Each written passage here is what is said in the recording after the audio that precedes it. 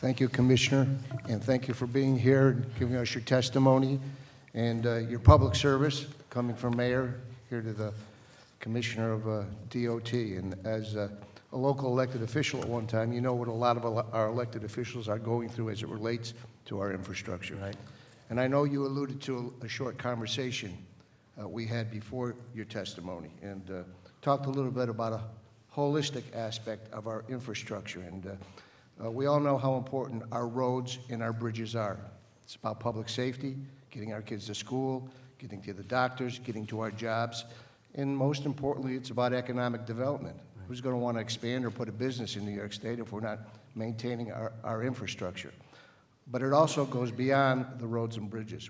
We need to put money into those roads and bridges and maintain them. We need a continuum. But as we talked, we talked about a lurking monster, which is another part of our infrastructure. And uh, you remember the show The Honeymooner with Jackie Gleason? Remember a guy named Ed Norton? Yeah. He's too young to know that. And Kaminsky, I've got socks when he was here that are older than him. He, did, he thought Ed Norton was that young guy that is a good actor now. But uh, you can't cut a, a ribbon on a road and a bridge, or you can cut a ribbon on roads and bridges. But only Ed Norton could cut a ribbon on a sewer line because he worked in the sewers back in the honeymooners.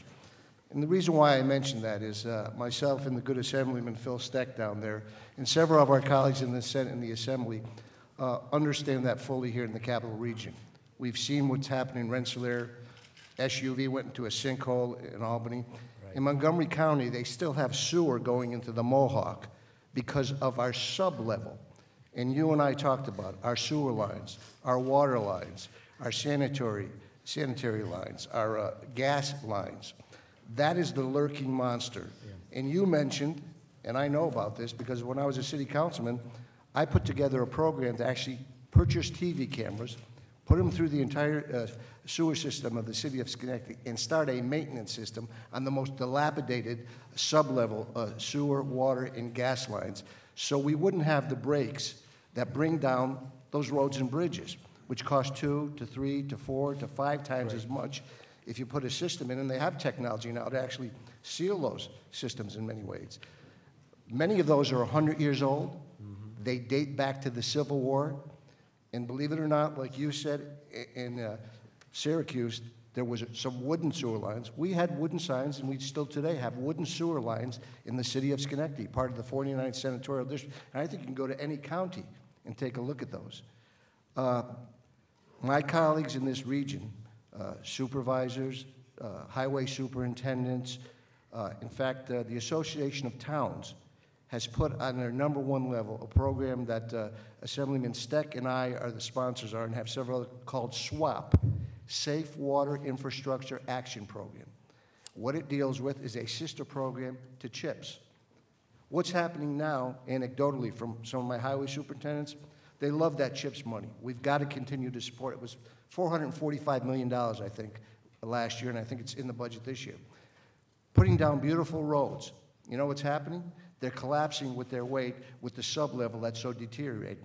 So we're putting good money after bad. We need a sister program, and we think we have an idea, put that forth called Safe Water Infrastructure Action Plan. It's not a Hunger Games.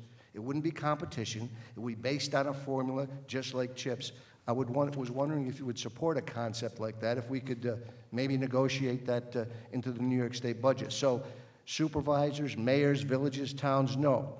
Not going to solve all the problems, but they can start looking at the sub-level, that lurking monster, before they put beautiful uh, uh, roads down and they collapse, and it's twice as much money thrown good money after bad.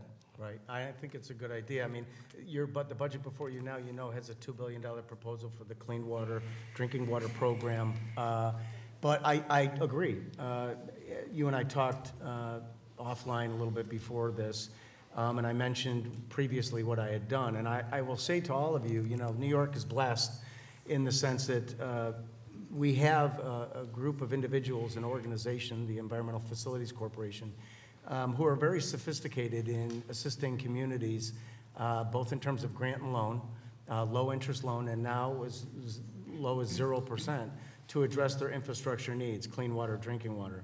But I think your point is well taken, and I've always encouraged, um, since my arrival here at New York State, when I speak to local officials, when they look at or going to undertake a local road reconstruction program, or they're going to um, fix some sewer runs or replace a water line, to look at it more holistically, so that they fully understand uh, below grade the challenges, but that they also leverage uh, additional programs like what the EFC offers um, with other programs in New York State where they might be able to reinvent their local community.